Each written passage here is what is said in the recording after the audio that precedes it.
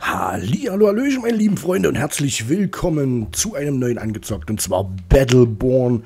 Ich zeige das Ganze auf der PS4.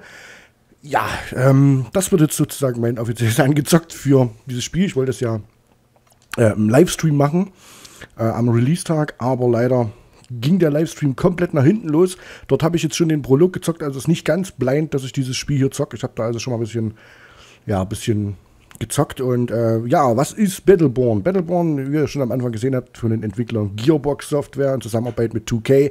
Was kommt dabei raus? Natürlich Borderlands oder Borderlands 2 und ja, so baut sich das Spiel hier auch auf. Also zumindest sieht es grafisch auch so aus. Cell-Shading-Look.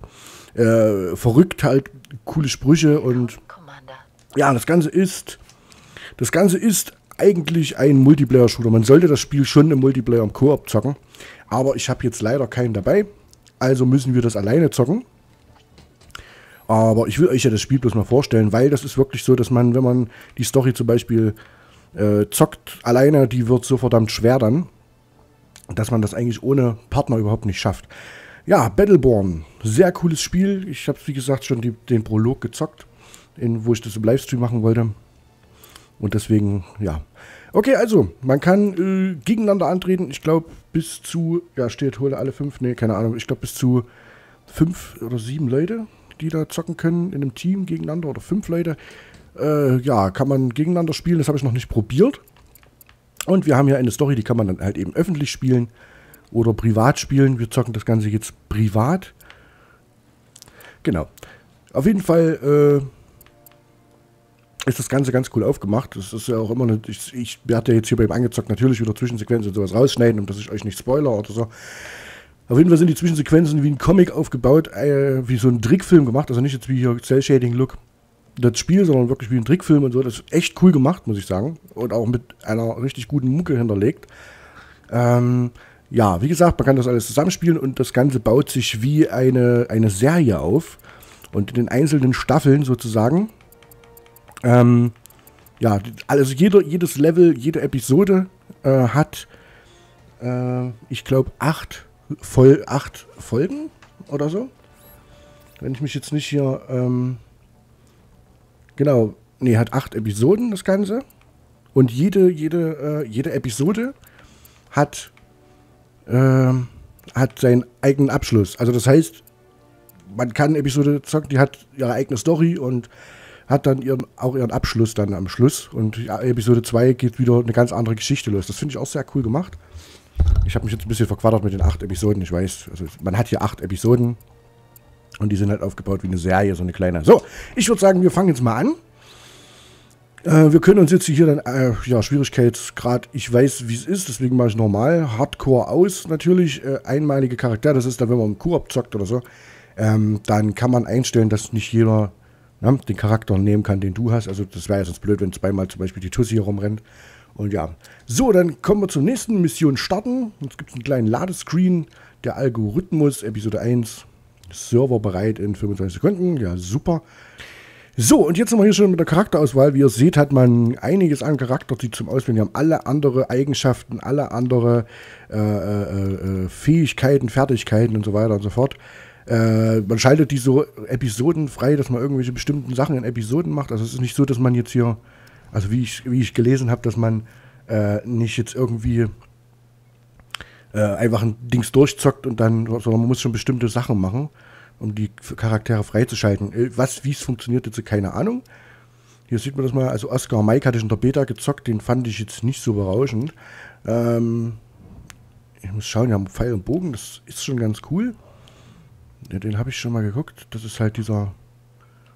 Ja, ich, ich probiere mal, was mich jetzt wirklich mal reizt, ich probiere mal diesen Wrath. Weil der mit seinen Schwertern und sowas, das ist schon cool. Oder wen haben wir hier noch? Den Riese mit dem Minigun. Dieser komische äh, Pilz. Ich nenne es mal Pilz. Und dann der hier mit seiner, was weiß ich für eine Waffe. Also wir nehmen mal, wir nehmen mal diesen Wrath und mal schauen, wie das so wird. Obwohl mich, obwohl mich die Pfeil und Bogen Tussi auch. Ne? Charakter bestätigen, kommen wir probieren das. Ja, genau. Schneid dir doch einfach mal die Zunge am Schwert auf. Sowas macht man aber nicht. Das kriegt man eigentlich schon ins Kinderbett gelegt. Immer beim Abendbrot oder beim Frühstück kriegt man gesagt, mess doch das lecker. Ne, leck doch das Messer nicht ab. Meine Sensoren orten den Magnus irgendwo in dieser Bergbaukolonie. Bewegung. Findet Isaac. So, und wie gesagt, man hat dann eben verschiedene Fähigkeiten und zwar baut man die dann einfach auf, dass man, wie gesagt, das ist jetzt PS4, wenn man ja auf dem Digipad links nach oben drückt und dann kann man sich hier seine, seine Fähigkeiten, Attentäter, Brems, was? Bremsenderschlag, mhm. Kreuz, Kreuzklinge verlangsamt Gegner bei Kontakt, Wellenschmetterer, die Schockwelle vom, hast du kurz verteilt jedoch, sich nach links und rechts, machen wir mal das, das klingt doch gut. So, wir haben R2 ist Schlagen. Oh, cool.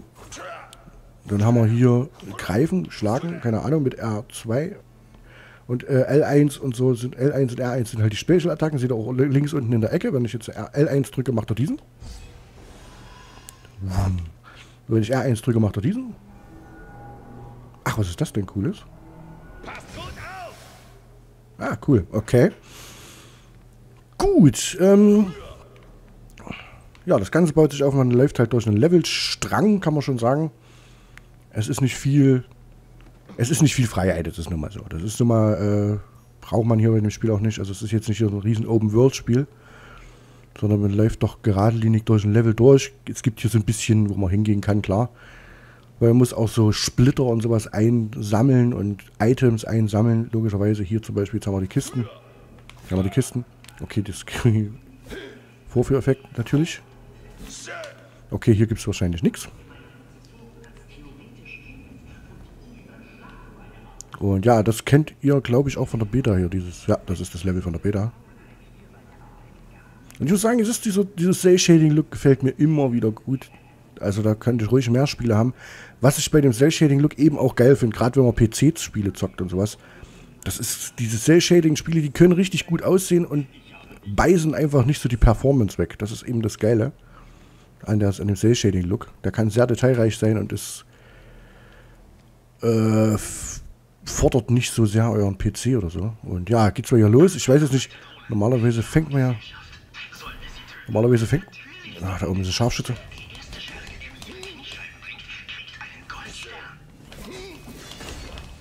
Babam, babam, babam. Das hat Spaß gemacht. Okay, cool, cool, cool, cool, cool.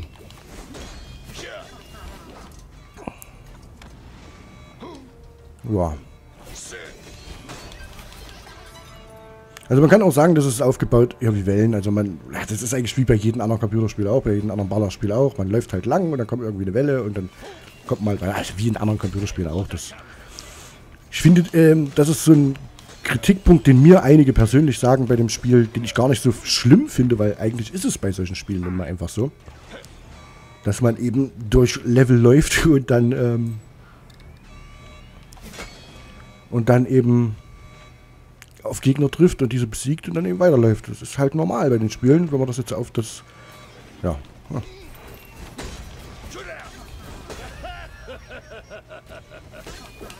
So.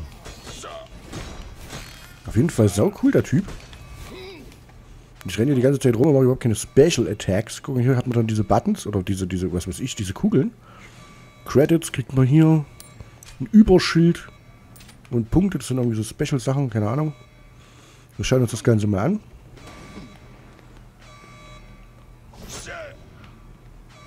Ich finde diesen Look einfach so geil.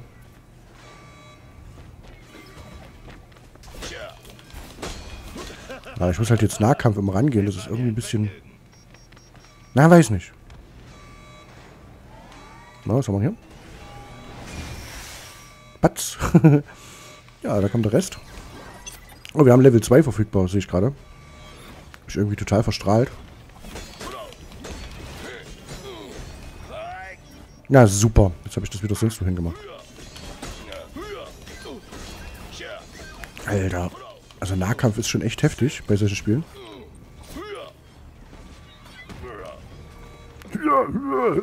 Alter, ich brauche Energie.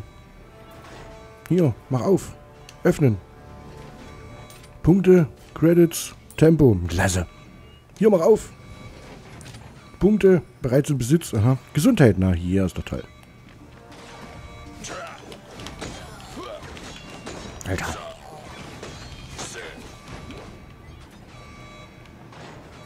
Aha, ja, so sieht's aus. So sieht's aus.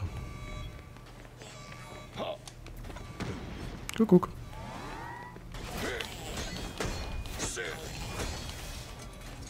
Und der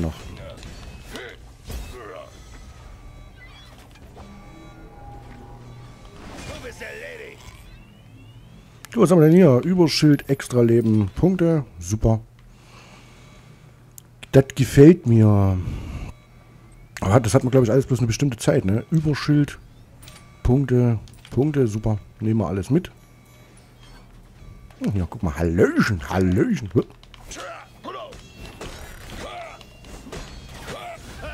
Bis zum nächsten Mal. Okay, wir sind jetzt schon zwei Level aufgestiegen und ich habe noch nichts gemacht. Wir gucken mal. Ähm, Schildsauger. Wenn Kreuzklingen feindliche Schilde bestätigt, lädt das Ratsfeld Schaden. Schildgeneration, Schildregeneration. Zorn des Echo. Nee, Zorn des Echo. Mein Gott, was lese ich denn heute? Ich muss sagen, es ist ein Tag nach Männertag, ne? Also, so ein kleines bisschen bin ich noch angeschlagen. Wenn eine Kreuzklinge zerstört wird, erscheint eine neue Kreuzklinge und bewegt sich auf Rust zu und fügt Gegnern drei halbe Schaden zu. Äh. Klingt gut. Achso, wir können ja noch weitermachen. Äh, Dreh zum Sieg. Das finale Drehung des Rust, primärer Nahkampfs. Aha, Terror von oben. Lässt Rust Doppelsprünge machen. Das klingt gut, aber ich nehme das. So. Okay.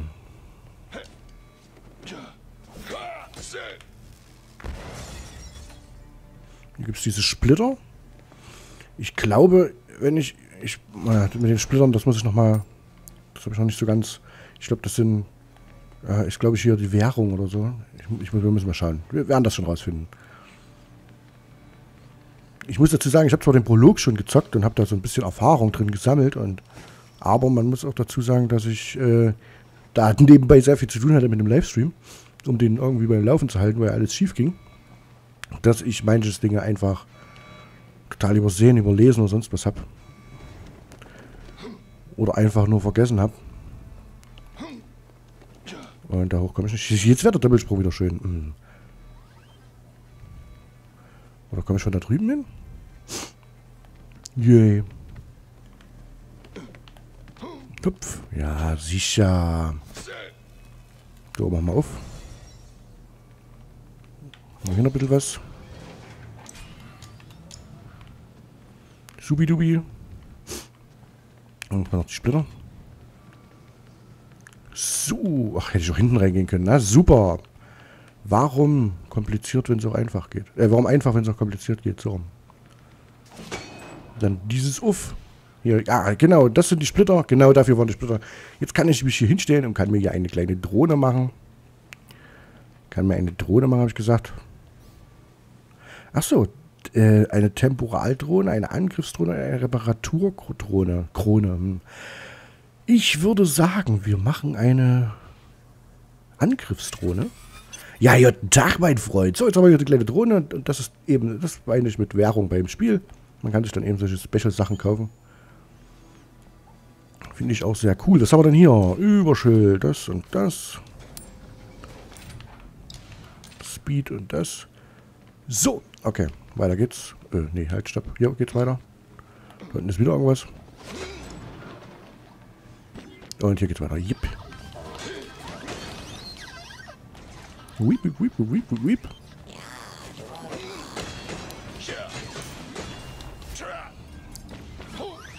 Ja. Es ist keine Schande, so zu enden. Selbstverständlich nicht.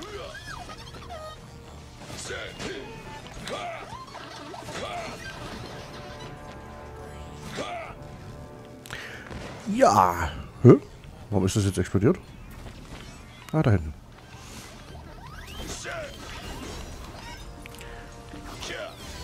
Der Schwerttyp ist echt lustig. Auch wenn man da... eben Nahkampf, ne?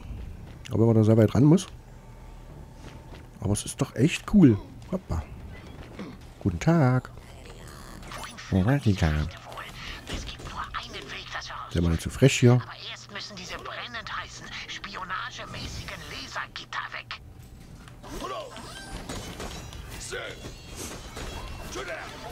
Tüter!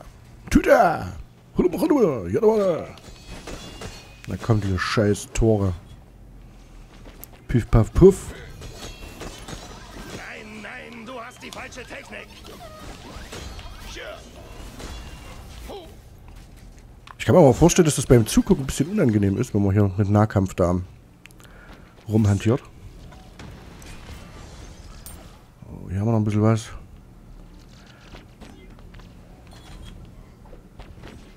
Schildilde. Schildildilde. Was denn hier noch? Credits. Müssen jetzt natürlich erstmal wieder alles absuchen, weil durch den Kampf haben wir jetzt natürlich einiges Tüte. Haben wir natürlich einiges übersehen. Den Kampf der Kämpfe. Was war denn jetzt hier? Credits, Punkte. Credits, Punkte. Mhm.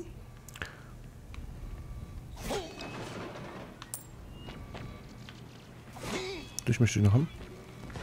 Ah, die fangen schon wieder an zu nerven da hinten. Gekämpft. Sau cool. Ja, das sollte man... Kann man schöne Kombos machen mit dem.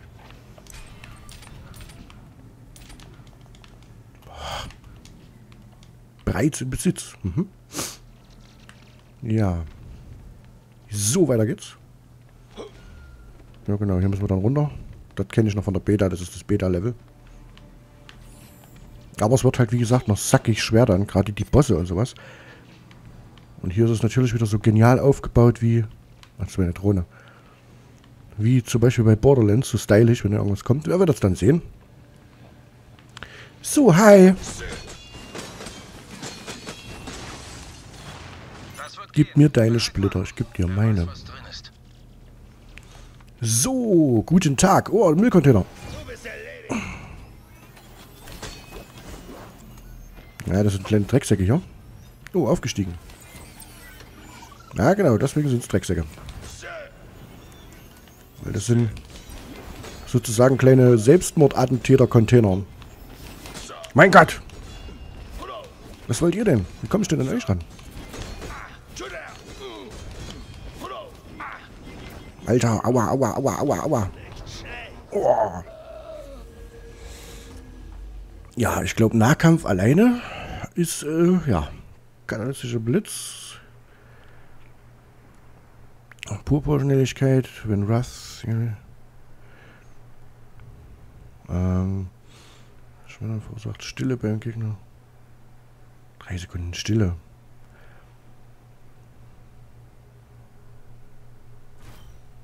Na, das oder mal. Ah. Wupp. Wieder Einstieg halten. Ja, normalerweise hast du deine Leute, die dann jetzt hier, ne, dich aufheben. Wiederhergestellt. Wie gesagt, es ist nicht ohne das Spiel. Aber das war ja zum Beispiel Borderlands auch.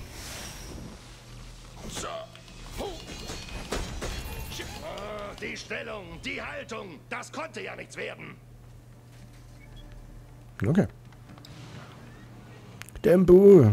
Tempo. Rein jetzt. Guten Tag. Hallöchen, Persona non grata. So nenne ich Leute, die ich gleich umbringen werde. Vor. Ihr und ihr müsst es mir schon aus meinen kalten, toten, niemals lebendigen, metallischen, handschuhartigen, nun ja, äh, Händen reißen. Okay.